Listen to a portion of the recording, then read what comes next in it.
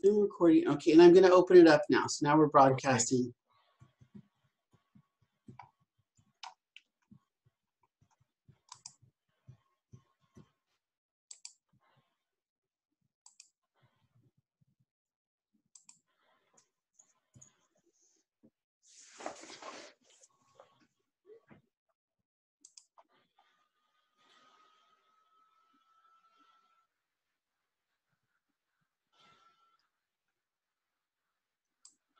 So good morning, everybody. Um, thank you for joining us today. Um, we'll be starting in a few minutes, but I just wanted, this is stuff that's upcoming at the library. Um, next week we have um, um, Fire Smart Landscaping with uh, UC Marin Master Gardener Marie Narlock.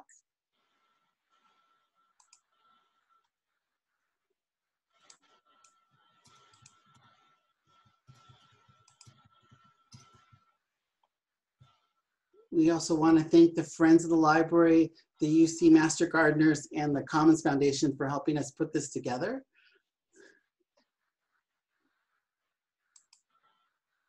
And don't forget summer reading started. I know all you gardeners are reading books, so we're having adult summer bingo. You can download a bingo card. It reads outside the box this summer. Um, you can uh, visit our homepage and look for the summer reading um, signs, and you can download a, a, bing, a, a bingo card. We also have lots of other virtual programmings we're starting to get set up. And if you have any little ones, on Thursday, um, the 11th, we have our first virtual program with the Circus of Smiles. So let your friends know, let your little kids know. We'll be doing our first virtual workshop, so, or performance anyway.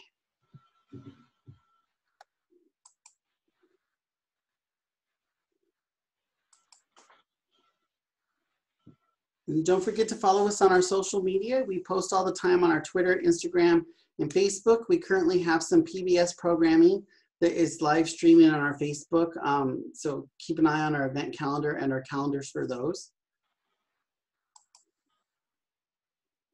And if for some reason you have to jump off this call today, we are recording. Um, so this will be posted to the library's YouTube channel.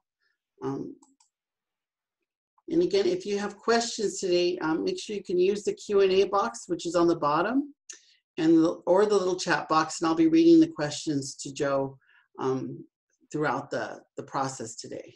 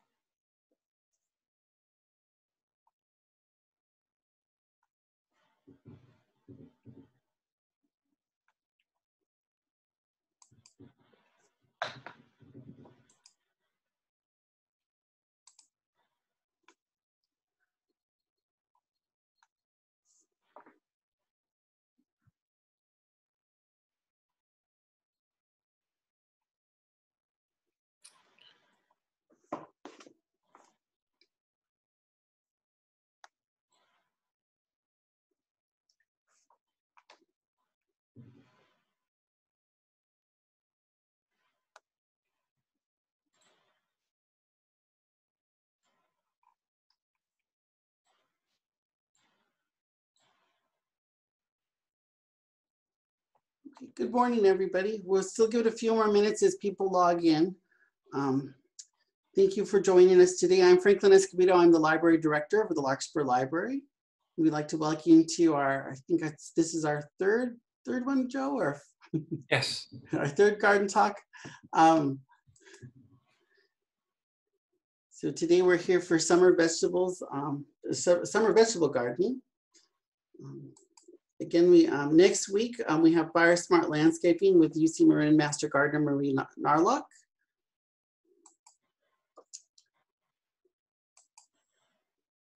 And again, we want to thank the Friends of the Library, the UC Master Gardeners, and the Commons Foundation for helping to make this possible. And summer reading has begun, so visit our homepage to download the bingo cards, sign up your grandchildren, and we have a Beanstack app that can, um, you can participate in activities online and children and teens can keep track of their reading online this year.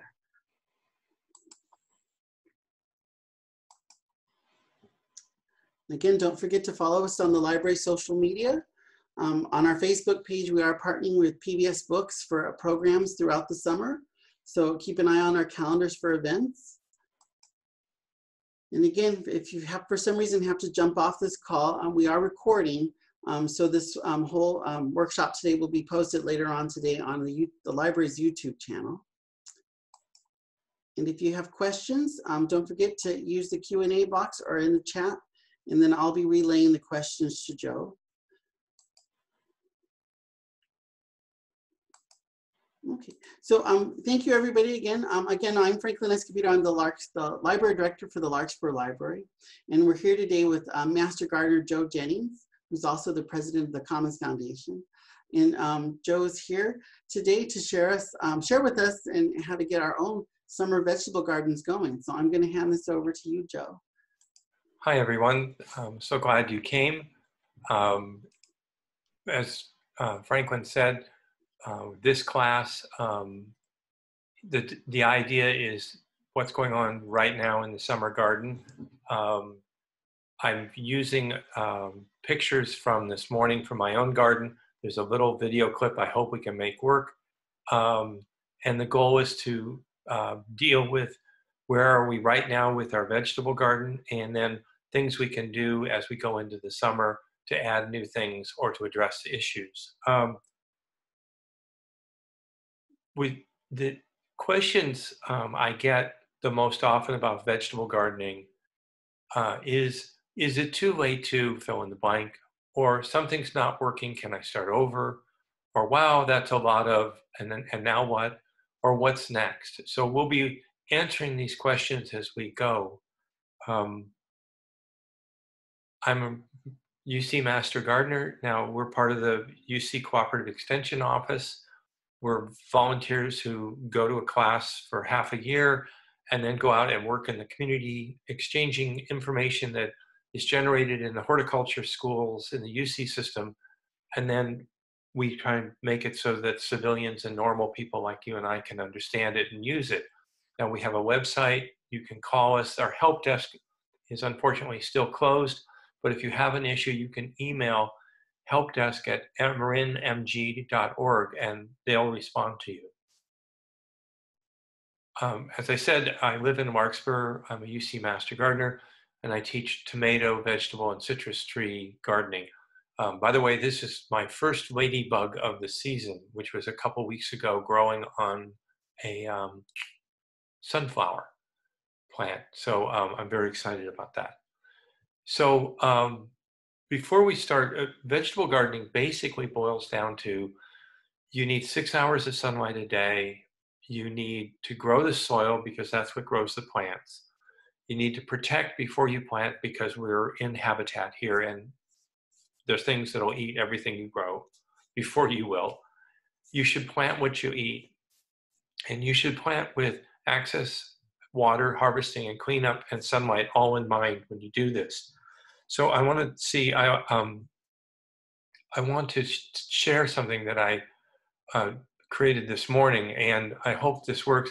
Now, I'll be doing the voiceover to this because the sound wasn't very good, but this is from the garden this morning. Um, what you're seeing behind me to my left is um, the zucchini plants. Now, the zucchini plant um, were planted from starts in 1st um, of April. And this is the biggest set of zucchini plants I've ever had. They're huge. Uh, what's interesting is the flowers have all come in uh, very nicely, but I'm seeing a lot of ants. I don't think the ants will hurt the plant, but they're there. This is scarlet runners, also planted from seed April 1st. They're about uh, eight feet tall now and going. Um, this is one of these mammoth sunflowers. Uh, my only mistake was I planted this right at shelter in place by seed, and I planted it on the wrong side of the tomato plants and bean plants. So I've kind of made a mistake there. These are Italian purple uh, pole beans. These are fantastic, uh, but I haven't topped them yet, and they're growing into the avocado tree. This is lacinato kale. Uh, unfortunately, this is literally half a package of seed, and I've already thinned it once, and, and we need to just eat our way through it. We're going to be very busy this year. Now, um, the next plant, these are uh, Kentucky Blue Wonder pole beans, fantastic green bean, stringless. Um, they're prolific producers, wonderful plants. These are Japanese eggplants that are already in flower, wonderful. But I also planted from seed three and three from starts. So I want to see how they do. Um, I'm sort of climbing through my jungle. These are heirloom tomatoes, uh, a range of, of different ones. But look at the beautiful elephant ear leaves. These are basically solar conversion tools to make the plants grow. And you can see cut it off in front, uh, I've been having a little trouble with I planted my sunflowers in the wrong place. Now, the other thing to notice is I haven't been pruning enough. So this is an example of something you need to prune off of your tomatoes. It's a little shoot between the branching that you don't want to promote. Um, now over here, these are romaine lettuces that I planted in March from starts. And they've been growing wonderfully. And this is one place where the sunflowers are helping because they're providing a little bit of shade at the hot part of the day so that the lettuce is happier. So that's one place where the sunflower strategy worked versus on the other side of the garden. Now here are tomato or potato plants that I started and I've been worried because nothing happened. And literally this start just came up this morning. So I'm excited because now I know that the potatoes are actually working. Pardon the mess in the garden. I didn't clean up before we shot. Now this is our herb garden. So you, all of these went from seeds. So you have Thai basil, green basil, Genovese basil, and I bought rosemary and parsley to augment it. Now these basils started from seed, they're Genovese. This is the third transplant I've done from little cups to larger cups now to this and these are gifts for friends. So that's the garden this morning.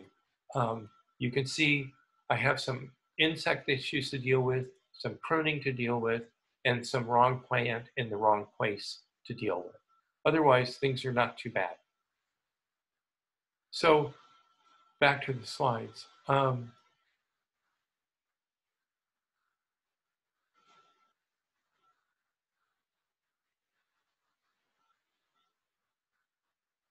So if you look at this spring to summer now, I cleaned up the garden starting March 1st. I added compost and chicken manure, manure on the same day. And my planting window was basically around, right around the shelter in place notice to around the 1st of April. I planted early, in other words. And I, from seed, I planted basil and eggplant and kale and sunflowers and green beans and purple beans and zucchini and red potatoes. And from starts, I planted the romaine lettuce and the Thai basil and the tomatoes. And at the time, I refreshed all of my scaffolding and, and, and basically checked all the irrigation. So this is where we were probably by about the first week of April. All of this was in. So you can see how much has grown. Now, I normally would not have planted this early, but because of the COVID 19 shelter in place, I was worried that I wouldn't be able to get seeds or starts. And then I had an accident and fell off of a porch. So I was worried that I wouldn't be able to take care of it. So I got everything in early. Um, so when you look at these, um, if your tomato plants are in, this is uh, one of my uh, sun golds actually, it's already showing fruit. Now, normally I wouldn't see fruit for another couple weeks. So if you're wondering whether you could plant tomatoes now, the answer is yes, but do it from larger starts, not seed. Um, I'm going to feed the plants because we're now into fruit. I've been tying them up as they grow because plants, the tomatoes don't attach themselves. I'm behind on my pruning, as I discussed earlier. And since we're going to fruit, I'll be turning the water down on the tomatoes. I've been watching for pests and I haven't seen any. And if we're at fruit now, I expect to be starting to harvest uh, beginning of July. on the beans, um, I planted the beginning of April. I haven't fed them yet. I suspect I'm going to feed in the next week or two by adding compost and maybe some additive around that, around the plants, because I may have overplanted. Uh, the only pruning I plan to do with my beans is to top the plants. Um, th this is a very dry year, and so uh, I expect to maintain the water supply on the bean plants. I haven't seen any evidence of pests yet, and I don't expect to be harvesting until probably second or third week of July. Now the lettuce is, it's been amazing. I don't know why. You get lucky. So my romaine lettuces have come in beautifully, uh, but I am starting to think I need to figure out what lettuce to plant for August, July, August, September, and put those into seed cups now. Um, I, I don't see a need to feed these because they're doing so well, but they, they do require a lot of water. And you have to keep an eye on pests. I've already seen evidence of snails in the garden that I had to deal with. And I worry about whitefly because lettuce love, whiteflies love lettuce. But I've been harvesting and it's going very well. The zucchini, I don't know what happened here. So this is just the same zucchini I've grown in the past and the plants are two or three times bigger than I've ever seen. I'm in flower and production already, it makes me nervous, and I haven't fed them or increased water. The only pests I've seen so far is some evidence of ants, um, and we've already been harvesting zucchini blossoms, uh, so for fried zucchini blossoms, and we've already harvested one or two little zucchinis. That's about a month earlier than normal for me and then the herb plant. You, this is a good photo. There, that's a picture where you can see that something's chomping on the on these. So I have to get out with uh, an organic eh, um, spray for that. Uh, I've not fed these extra food at all, um, but I've kept the water up because it's been so dry, and we've already been harvesting some of our basil, which is early. So uh, before I go on, that that's just an overview of a vegetable garden in Larkspur that was planted. I want to say starting probably the last week of April, first week of last week of March, first week of April. Any questions? Franklin, any questions? So far, not yet, but I, I forgot I was supposed to run a poll real quick. I wanted oh. to see how many people were, um, let me see if I get this to work correctly. Um, we wanted to know how many of, of you in the audience were our master gardeners already or in the program and then how you how you found out about it. So if you want to click on, if you're a master, Marin Master Gardener, um, and then which news outlet you heard it from. And then if you have questions, we did get one coming. Um, someone asked, what do you mean by the top, top the plant? Ah, good point. Um, I have to get so I can see. So when it was for the beans, the picture on the right, um, one of the problems you can run into is your bean plants outgrow your scaffolding. So, and then they start to flop down and then they're climbing into the trees where I can't get to them. And so what I've tended to do is since I'm already in a raised bed that's two feet high and the scaffolding is another six. So now you're eight feet in the air. Uh, my tendency in the past has been to top the bean plants so that they don't keep growing and the energy goes into production in the plant where I can reach it. So I do the same with tomatoes. Um, it's so that you i don't want to get up on a ladder to go work on the plants. So um, i try to avoid that. Did that answer the question?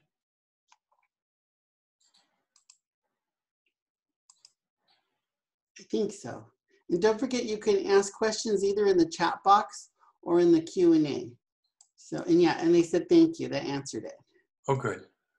Um, so I'll go back to the presentation. Um, so, but that's a good question. Um, everybody's different, um, but my experience has been that I want to keep plants at manageable heights. So, for example, on the right, these are the green and purple beans, pole beans. You can see these growing over the top. Um, shortly, all of the tomatoes will be up there growing over the top. Also, um, you have to control so the beans don't grow into the kale. Um, and so I'm just sort of always paying attention that I'm the garden's not getting ahead of me.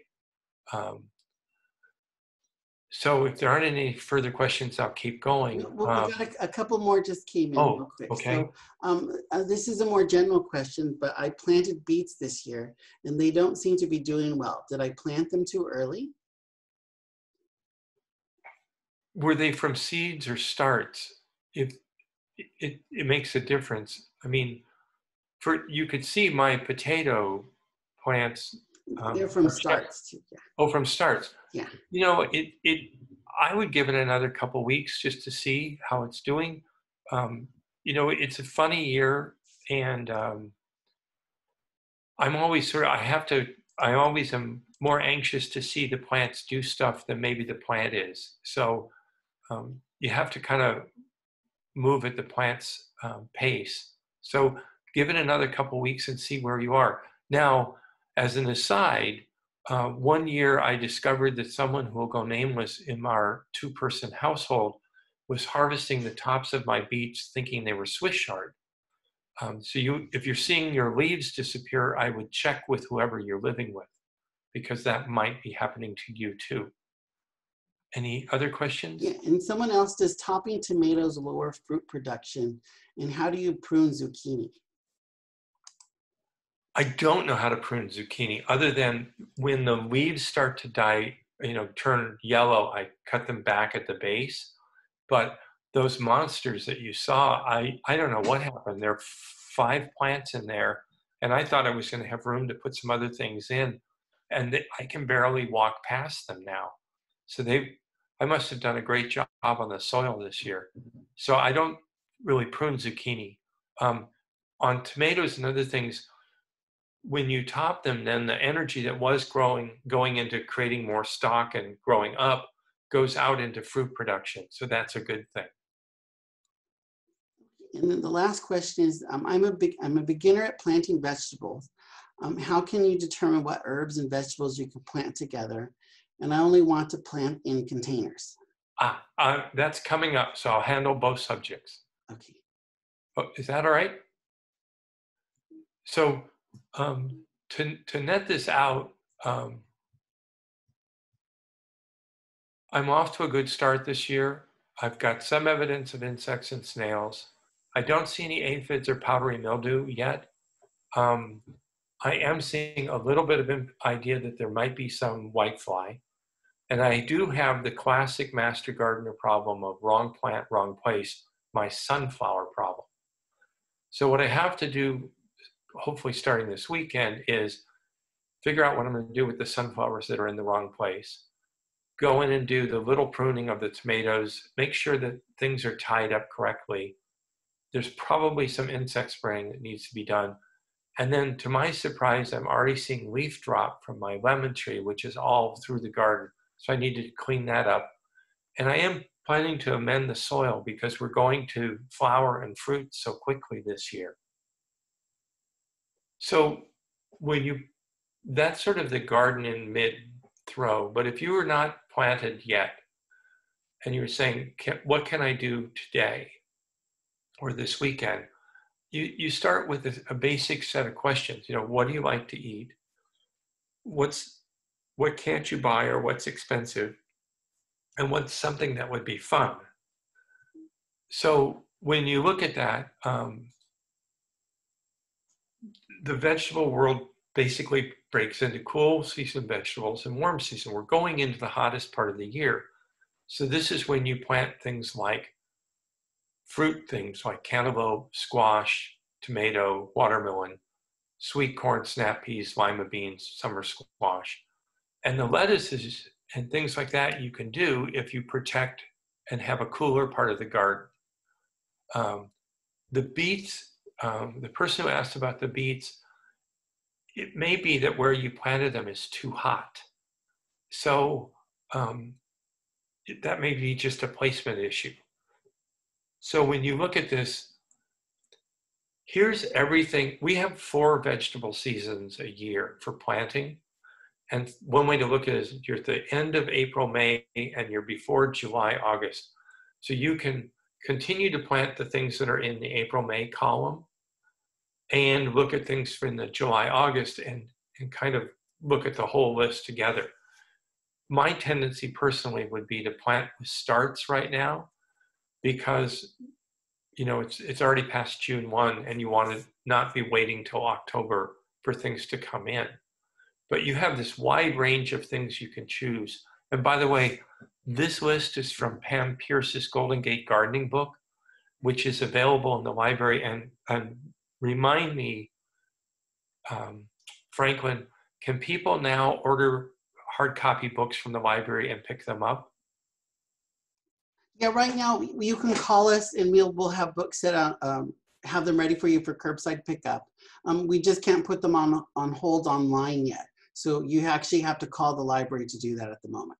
So if you're trying to do garden planning right now and you wanted to get a hold of Golden Gate Gardening, the book, you could call the Larkspur Library and get a copy and have and then come by and pick it up. And the pickup is in the driveway of the parking lot next to the children's library entrance. Is that correct? Yes, yes. Okay. From 12 um, to 4, Tuesday through Saturday. perfect. Um, so the other way to think about the summer garden is by plant family. And the reason you want to do this is because of this. You, you want to be rotating plant families every year. So if you had tomatoes in one box last year, you don't want to plant the same tomatoes or the same um, plant family this year. So when you go back and look, um, for example, if you're replacing uh, cabbage with broccoli, that doesn't really help you. They're the same family. Or uh, peppers with tomatoes, that doesn't help you.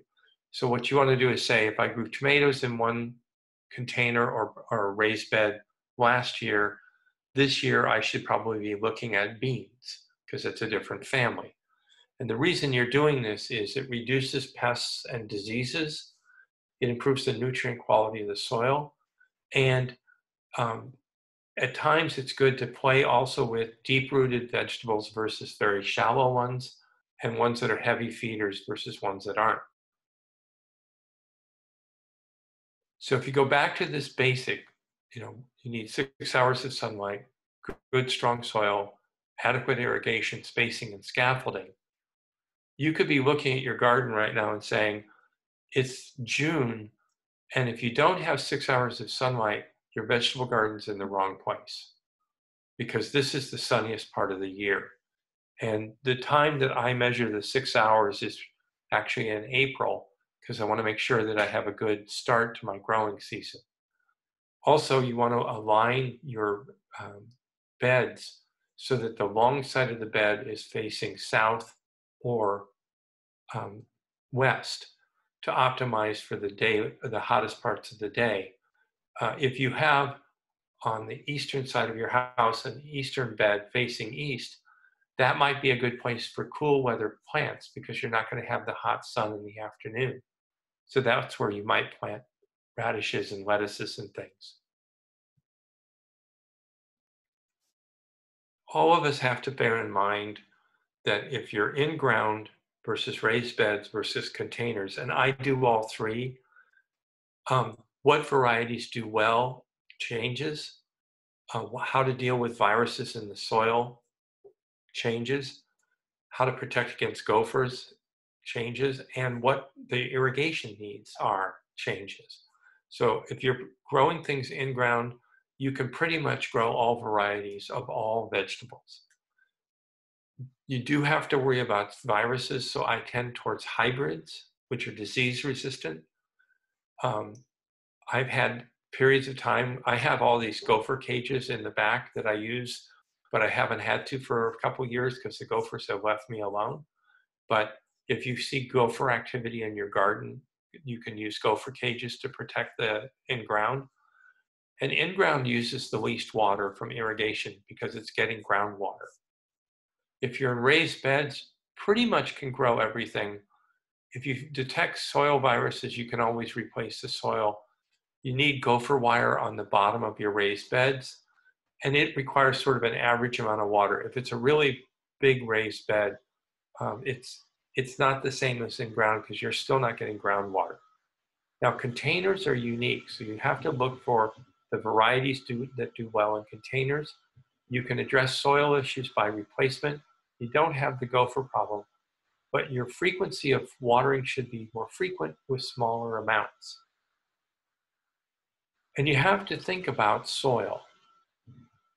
And so um, it took me a while to figure out that actually I grow soil and the soil grows the plants.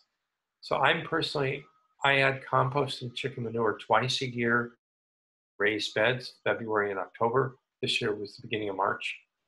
And frankly, the vegetables are heavy feeders, so they they consume a lot of nutrients. But the good news is you overfill your beds so they're brimming with compost and then you plant three or four weeks later once if it's over if it's not cured correctly it will have co- cooled off a bit and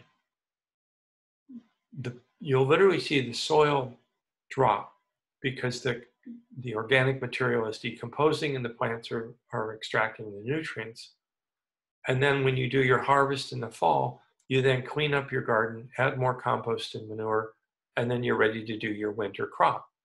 So this works pretty well. When you have problems is if you forget to amend your soil and you go a couple cycles and the plants have run out of nutrients, literally, or you're in containers and you haven't been adding enough nutrients and you're pouring water through and the container soil gets very old and dead. This happens a lot, by the way, with citrus trees in containers. So I'm always looking for ways to amend the soil. Um, truthfully, we should all be in 15 to 25 gallon containers because then we could grow anything we want. But the smaller the container, the more constrained you are. And the way to look at this is uh, this is also from Pam Peirce's book. Different crops have different root depths. So if you want to grow them in containers, you measure from the top of your container to the bottom. And if, for example, you have a container that's eight inches deep, then I wouldn't plant anything in the carrot, bean, or broccoli columns in that container because their root system is going to want a bigger container deeper. Um, similarly, you can plant anything in the first column in deeper containers. So a deeper, bigger container can handle everything on this chart. The smaller, narrower, I mean, less depth container, it constrains what you can plant. A lot of us container gardeners have the containers we have. so before you go and select plants, measure your containers and look at this chart and will basically tell you what would grow well in different size containers. Any questions about this? Because this is sort of fundamental to container gardening. Yeah, so we, we have a few more. Um, so the first one is I see that you added compost and chicken manure. What type of soil do you use? Also watering system? I'm going to deal with watering in a minute. I um, I keep experimenting with different composts and um, but I try to get um, from reputable vendors that have been um, allowed to not they they I can't think of for some reason the term you don't want the soil too hot and I add chicken manure to boost it and that may explain my zucchini um, my my wife thinks I put a nuclear material in that bed because it's so huge but the trick is add your compost and chicken manure if you want. but give it a couple weeks and water so that the soil has has kind of integrated before you plant. Um, did that answer the question, Franklin? Well, I think so, but so um, the, the next one is I planted some little um, gem lettuce from seed, and I believe three weeks ago, and saw some promising growth, which then got eaten overnight. It looks like uh, the work of a quail, no evidence of snails, and any recommendations of dissuading pests from, aside from netting. Well, so I I had a similar thing, um, and so I did a combination of I used um, organic snail and slug bait just in case, and then I put netting up, and uh, the lettuce has done fine since then. But I had some similar problems this spring, so it was a combination of just in case snail and slug offense, and then netting because the birds were hungry. Okay, so and the next one is um, how do you know if you have viruses in your soil? Ah, we'll, we'll handle that when we get to the integrated pest management at the end. But basically, uh, if you're seeing wilting, yellowing, um, d- decreased growth suddenly, then there are indicators that you might have viruses in the soil. You're more likely to have it if it's in the ground than in a container or a raised bed but certainly um, Marin County is famous for its profusion of three different types of viruses, and, and many of us have had to deal with that. I'll deal with it more later, but thank you. Okay, and then are coffee grounds by themselves uh, a good compost? I've heard that, but I've never used them, so I, I don't. I would I would look it up at the Master Gardener website. Okay, and then I have two dwarf lemon and orange tree. Can I keep them in the containers? Yes, but that's a, the citrus class. You missed us by two weeks. Um, but we're doing I, it again in the future, so don't. no, no, no. So I, I first off, did we post that class? No, that was Sausalito. So. Oh, oh, so the Sausalito Library has a citrus class that I taught, but the question was, will dwarf orange and lemon trees go in containers? Yeah, or can I keep them in the containers? Oh, absolutely. Just make sure you continue to build the soil. And it's a longer discussion, but there's a there's a whole class on citrus gardening at the Sausalito Library website that I gave two weeks ago. Yeah, a couple weeks now. And then um, instead of rotating the crops, can you amend the soil annually with soil amendment, chicken manure, etc.? Well, you should do both. If and and the main thing with crop rotation is you're just trying to not if there are any diseases or insects that winter over, you're just not trying to continue to feed them the same thing year after year.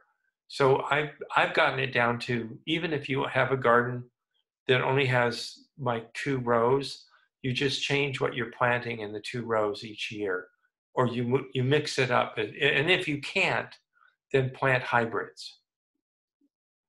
Okay, and then any suggestions for green onions that don't seem to be growing very well? I'm trying the green onions in containers and raised beds, and neither are very happy, both from seeds. Um, hmm. Well, that's interesting. Um, so green onions theoretically are pretty shallow, so they should go in any container size. And um, but they like um, they like rich soil. So I I grew onions last winter and they did very well, but it was a rich soil of compost and chicken manure, and then I, I amended both of those with chopped up leaves from the garden, so it was sort of airy. Um, I would I would look at maybe um, boosting if you have a vegetable fertilizer, um, seeing if that would help them get going. They are a uh, let me go backwards. Um, green onions. Um, they're they're a cooler weather plant, but you should be able to grow them. It shouldn't be a problem. Okay, and then um, the last one so far is in our garden, something is eating our squash within a week of planting our starters. How can we prevent that? And do you have any suggestions? Um, when we get to IPM, I'll show you how to do this. In fact, we'll get out of the presentation. I'll just go to the site. So we, we need to look at squash. Okay, I'll, I'll handle that when we get there. Is that okay? Okay, so that was the last question for now. Okay. Um, so you may have noticed in the little video that my garden is a little overgrown this year. And I think it was, I did, I got nervous because of the COVID 19 shelter in place. And I had recently fallen off of a porch. So I, I'm not sure how well I was thinking about this. I appear to have overplanted. And um, I've even thinned and it's still overplanted. And so I'm going to have some things fighting with each other for space. Um, it's important that uh, you can have leaves touching each other, but they shouldn't be competing. And um, you need to lay your garden out so that you have a sense of a rhythm, which is what's coming into fruit, what am I going to be harvesting, when will this plant come out, what will I replace it with.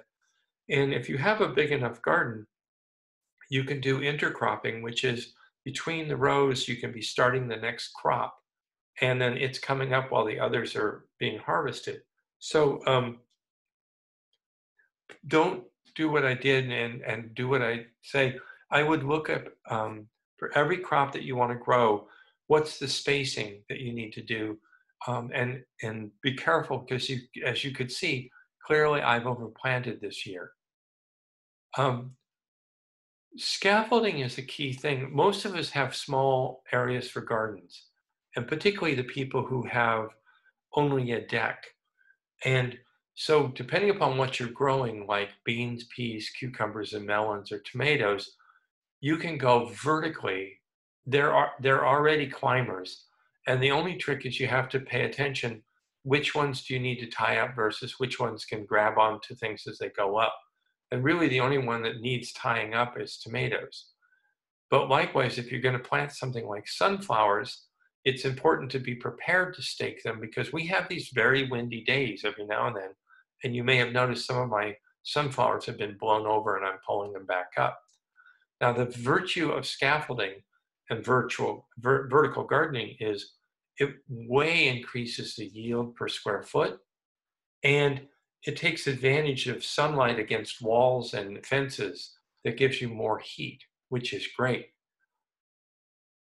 Um, irrigation, I recheck my irrigation lines probably three or four times a year. So if you've already planted and you haven't checked your irrigation, just go all the way through your vegetable garden and sort of watch where you know the connections are and make sure that everything is connected up. Because there are times where I don't know who did this with a hoe, but they've kind of chopped through the irrigation line or it's gotten disconnected somehow and you could plant things and a couple weeks could go by before you realize they're not getting any water. So you want to make sure that your irrigation lines are working. And then deep watering is actually the best. And, and but deep watering means different things for in-ground versus container gardening and raised beds. So deep watering in ground, you can basically put a lot of water out and it will go into the soil and it will go pretty deep. Um, whereas in a raised bed, there's a limit to how much water you can put on the ground before it starts running out the bottom. And then in containers, it's better to have more frequent watering for shorter durations because the container can't hold this, the water, it will run out the bottom. And the other thing to think about is, for example, Lettuces need a lot of water, and tomatoes, when you hit July, don't. So you don't want to have them getting the same amounts of water. In terms of fertilizing, I rely primarily on compost. I'm starting to explore more with fish fertilizers. But when it comes to container gardening, it's helpful if you if you want to try this to use compost, put it in a five gallon container, about a third full, fill it with water, and then put a top on and leave it in the sun for a day. And then you pour it out, pour, pour it through a strainer, and then you'll have this brown liquid, and that's called compost tea. And that's a fantastic way to feed anything in the garden, but particularly containers, because you're basically putting the nutrients in a liquid form in. And, uh, and you, again, be careful that you're not pouring so much on that it goes out the bottom. So before I go to harvest, were there any questions about um, scaffolding and irrigation and fertilizing and soil?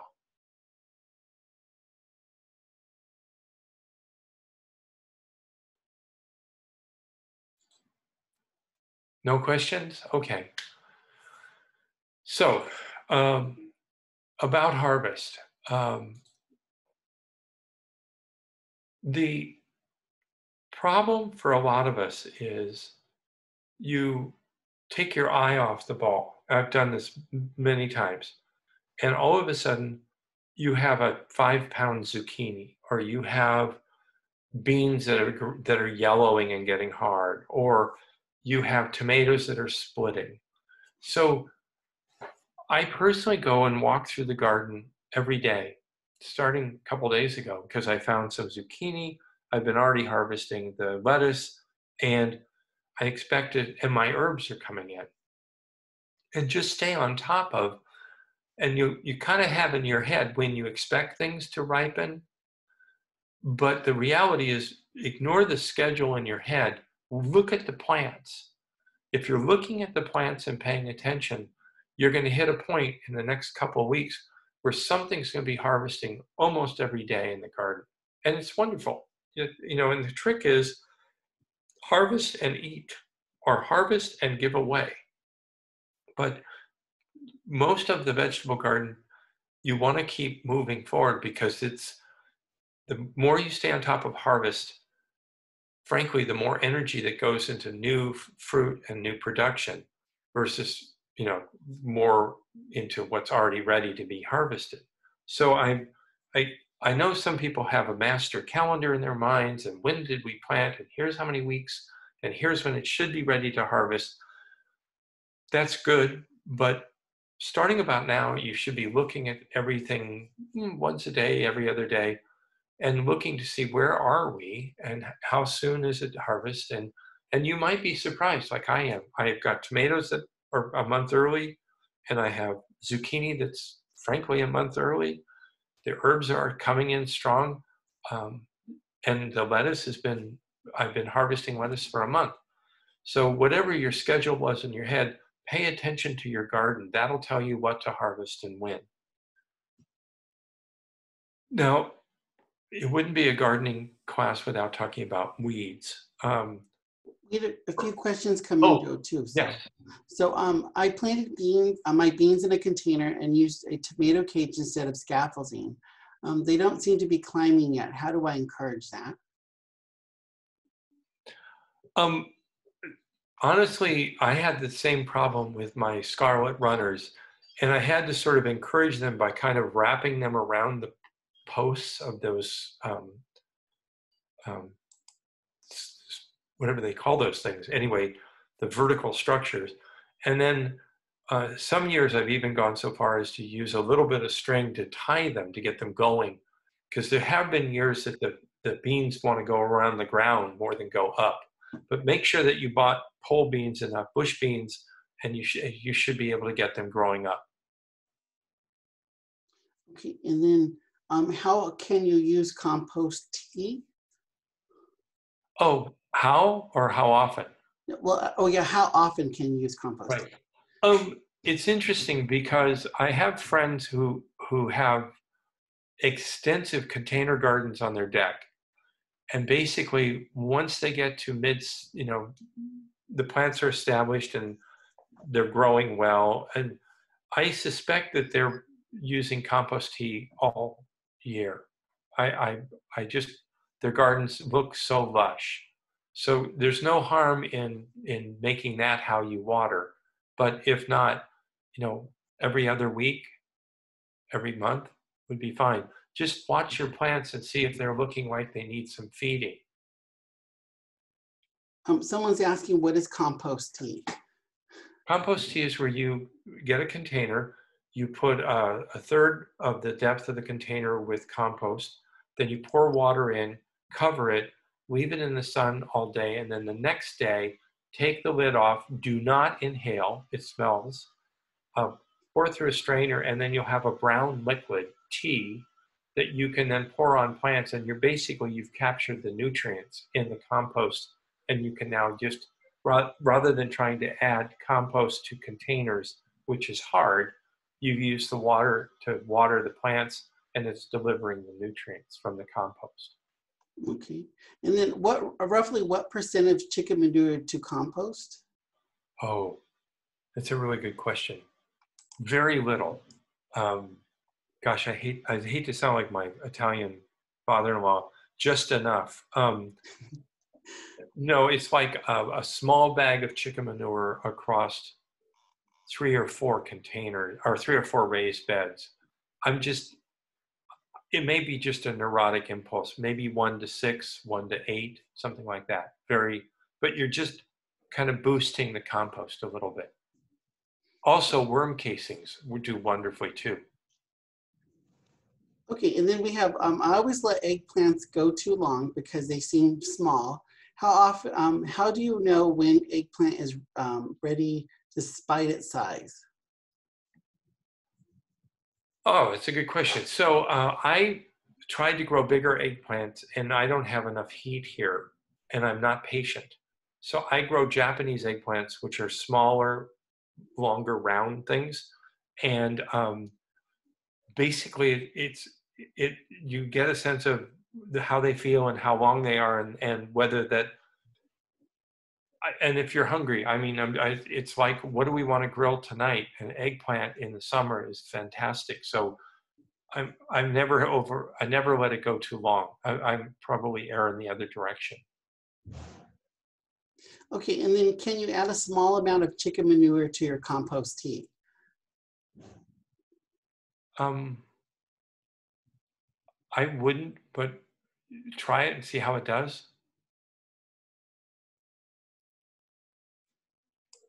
Okay, th that looks like the last of the questions for now, so. Okay, so about weeds, um, basically the definition of a weed is a plant that grows somewhere that you don't want it to. And it's a plant that germinates faster and grows faster and goes to seed faster than everything around it. And all of us have weed problems of varying degrees. And so the key is if you see a weed getting started in your vegetable garden, pull it immediately. The sooner you remove it, the better because you and get the roots. Because what you don't want to do is have it go to seed and now all of a sudden the whole garden's full of whatever. So I'm walking through the garden all the time pulling weeds because um, I don't know where they come from, but we have a lot of weeds in the air here. Um, you can use mulch for weed control. I don't personally in the vegetable garden because I'm in and out of the garden so much. Uh, but in the regular garden, I use mulch, but I'm still weeding constantly because there just seems to be an awful lot of weeds um, that get opportunistically uh, started in our yard.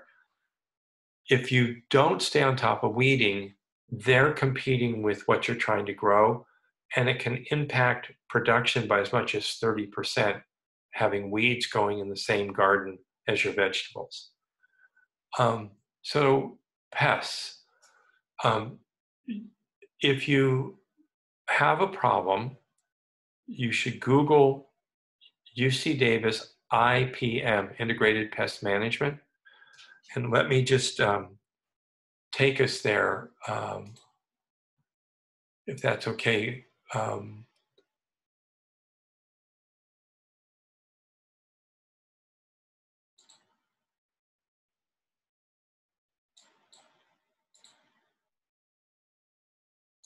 that's the wrong screen. Wrong screen.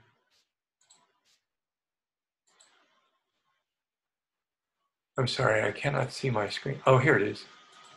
Now then, um, IPM this, your tax dollars to pay for this. So this is if you go to UC Davis IPM, um, which is this site, And this is the quadrant here, home garden turf. And let's say that you're concerned about your vegetables. And let's say you're worried about squash. So this is everything UC Davis sees going on with squash in the state of California. Invertebrates, diseases, environmental disorders, vertebrates, and weeds. So for example, um, every year I fight powdery mildew on um, my zucchini. And this is literally exactly what it looks like. It's this um, disease that, um, oh, this is downy mildew, sorry, powdery mildew. This is what I fight. And so you can go in, you see this on your leaves, you go to the IPM website, and uh, in this case, I use copper sulfate, but the site will tell you how to fight that disease. And so what you do is if you have a problem in the garden, and let's say you're seeing um, you see leaves that have this, they look like they've been, something's inside the leaf. Well, you would go here and click until you found it. It's called a leaf miner. It tells you how to identify them and what their life cycle is, how much damage they do, and what are the solutions.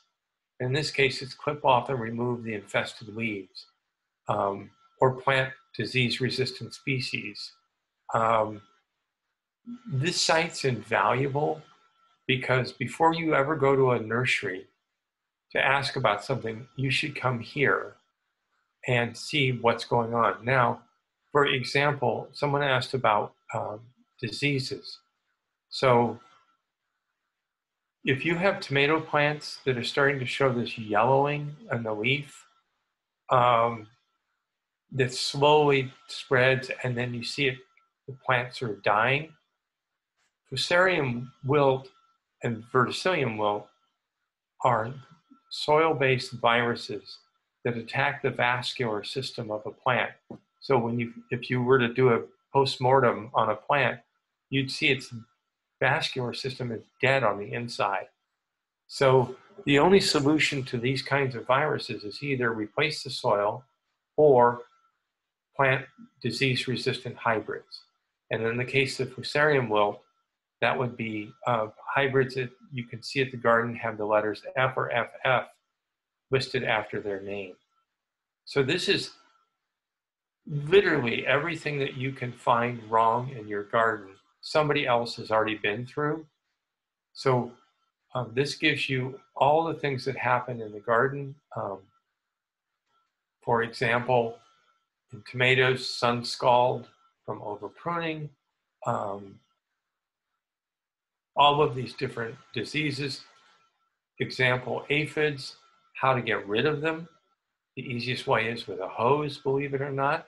Um, so every gardener should bookmark UC Davis IPM because this is the best resource you're ever going to find.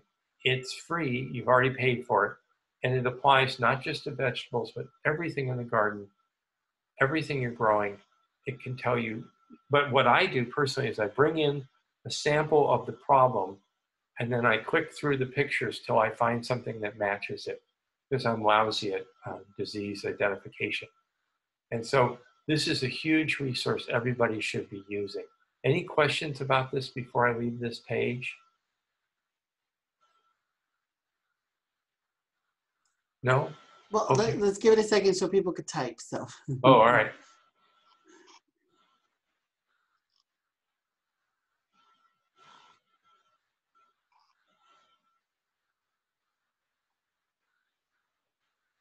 Okay. Yeah, nothing's coming in yet, Joe. So. Okay. Well, I'll, I'll keep going. Um, so, um,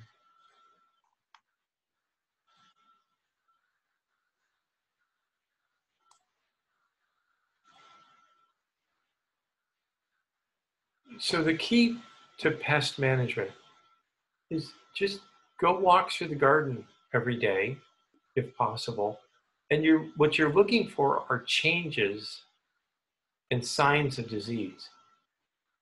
Leaf curl, spots, holes, um, critters climbing on something. And the most important thing is to, to identify the problem and act quickly because you don't want the problem to spread.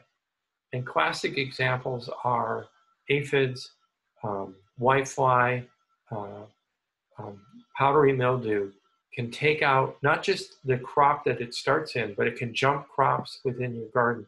So if you see these things, go to IPM, look up, find what you think it is, and then do what the IPM website tells you to fix it.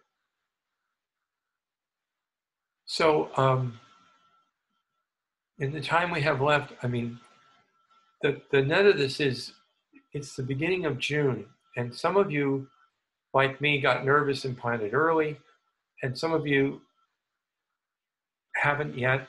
There's still time to plant a great vegetable garden for the summer or to fix the problems that you already started if you're like me and you planted all of your sunflowers on the wrong side of your beds, or if you've planted something and too much of it's come in, there's plenty of time to adjust and still have a wonderful vegetable garden for the summer that you can uh, live out of uh, all summer and into the fall.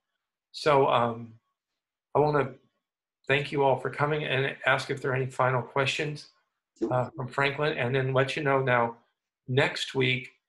Um, is it Marie Narlock? Yeah, Marie Narlock with uh, for Fire, um, Fire Smart um, Landscaping. So. And now she's going to be very specific about things you can do. It's sort of a how-to uh, class, and she's wonderful um, class. And then the class after her is it's um, organic fertilizing. And, and here again, um, feeding your vegetable crop and your garden is key. And there are ways to do it that won't end up in the water system. And Jane is great at that class. So uh, I hope you've enjoyed this class. Are there any final questions? So, so we did have a question. Um, uh, so thank you for being here, Renee. Um, there, I'm in Nevada, and would this website also help me? And I, it's the um, the IPM. Would that help her? I think um, I would check first with uh, the University of Nevada. Um, I would Google University of Nevada Integrated Pest Management to see if they have one for Nevada. Um, because the list of diseases and critters might be different for Nevada than it is here. Um, but if not, this is better than nothing. And how in the heck did you find us from Nevada? That's amazing. So, and then um, the next one is uh, what are some good options for mulching containers? Oh, so if you're in a cool climate, uh, stone is a good one, actually.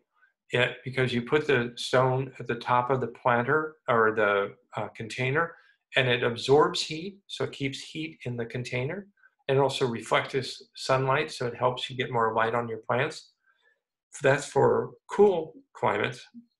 For warmer climates, um, regular, um, was this mulch or compost? I'm sorry.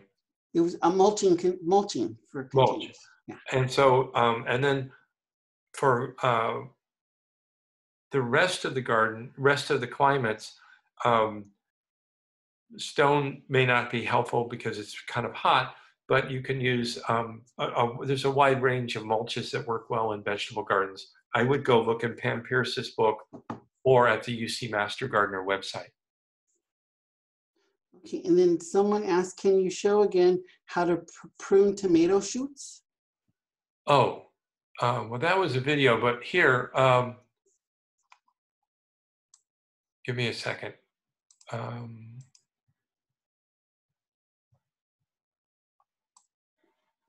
right. So if you see in this picture above the tomato, there's an elbow, a branch coming out, and then the main stalk of the tomato plant. If you're seeing little starting, little growth between the branch and the main stalk, you just pinch those off. And then topping the plant, I do a diagonal cut on an angle so that the if it rains, the water will run off. But I try and top them. I my plants are already two feet in the air because they're in raised beds, so I stop them at the top of the um, scaffolding, which is six feet, because now you're eight feet in the air, and I don't really want things taller than that. So I just clip at the top and tie the plant off up there so that it's secure at the top. Um, because if you haven't secured your tomato plants and they get a lot of growth up there, they can fall in on themselves because there's nothing holding them up.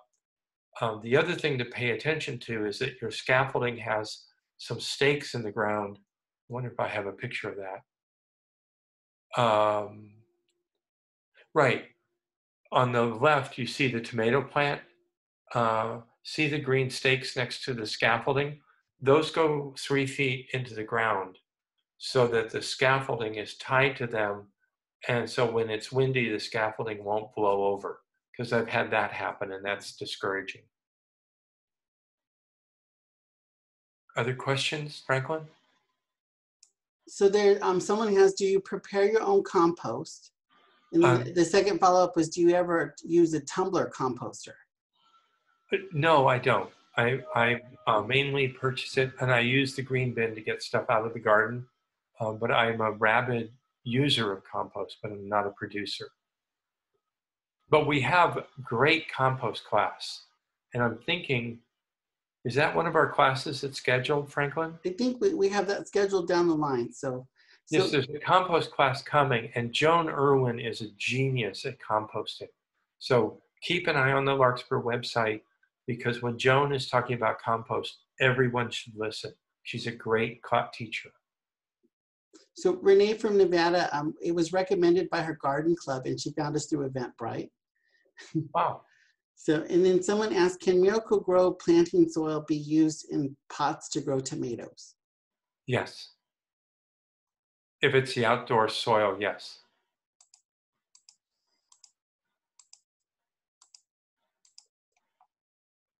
Okay, that looks like the, the last of the questions for now.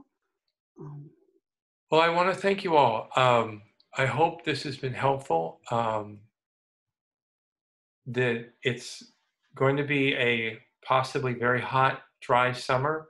So stay on top of your irrigation needs and keep an eye out for critters and insects and diseases.